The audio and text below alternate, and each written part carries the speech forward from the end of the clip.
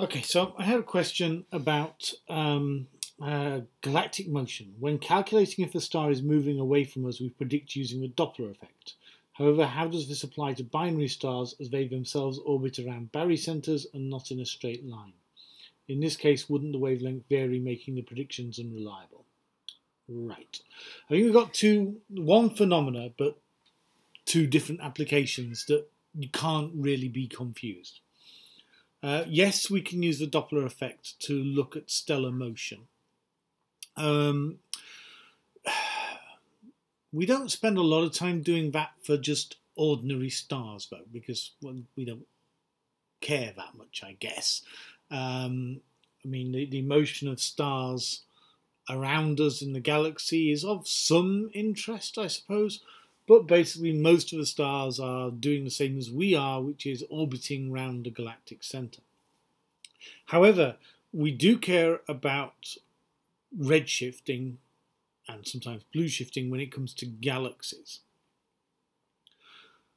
Um, and even there, we're talking about sort of different scales of motion. So, nearby galaxies, by which I mean members of our local group of galaxies and maybe um, the closest supercluster, the Virgo supercluster, when we look at the redshift or blue shift of those galaxies, what we are seeing is their kind of actual motion. So, for example, the Andromeda, which is uh, possibly the largest galaxy in our local group, is moving towards us and we are moving towards it. We're, we're coming together and we can see that. So the light from those that galaxy is a bit blue shifted. But notice that's the light from the galaxy. Yes, that light is coming from stars, but it's like the aggregate light from all of the stars. And the actual motions of stars within the Andromeda Galaxy are, are very small compared to that motion.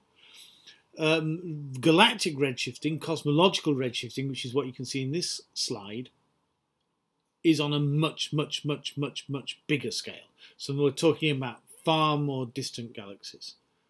So that's a whole different different scale effect that sees, as you see in the sort of bottom one, this galaxy cluster here, number five, whatever it is. This is really significant redshifting. We're talking over over very large wavelengths. Um, the other thing that, that the question asked was about um, the other thing the question asked was about uh, binary stars. Yes, and that's the example that we're looking at here. Um, don't forget that the motion of the binary star in terms of redshift and blueshift is superimposed on the motion of the whole system. So the star system here might be moving away from the Earth, or it might be moving towards the Earth, or it might be moving sort of sideways. And so if you were comparing the location of the spectral lines compared to the spectral lines in the laboratory, you'd be able to see that. What this additional motion does if the alignment of the stars is such, if it works. So if, if we were looking at this and they were rotating, like we are looking into the pole of their orbit, then we wouldn't see anything because they're not coming towards us or moving away from us as a result of their co-rotation, their, their um, orbiting around the barycenter. Um, but where the geometry does work, we do see this superimposed effect. But what we actually see, and it's what's uh, the uh, the diagram on the right is trying to show you is that we see the spectral lines splitting and then coming together, then splitting and then coming together, then splitting and then coming together over the period of the orbit.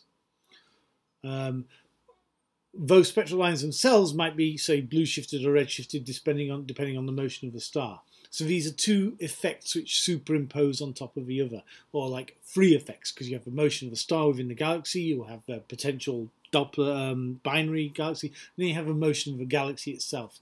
And yeah, this could be a bit tricky interpreting the data, but often that's not the case because we know kind of what we're looking at. You only, with a binary system, you you, you see the splitting. You wouldn't see the splitting if it wasn't a, a binary system uh, orbiting in a certain way. The galactic redshift, you, you know, because you're looking at a galaxy, you're not looking at the, the light from an individual star. So there's, there's all using the Doppler shift for electromagnetic radiation, but kind of using it in different ways. Hope that helps.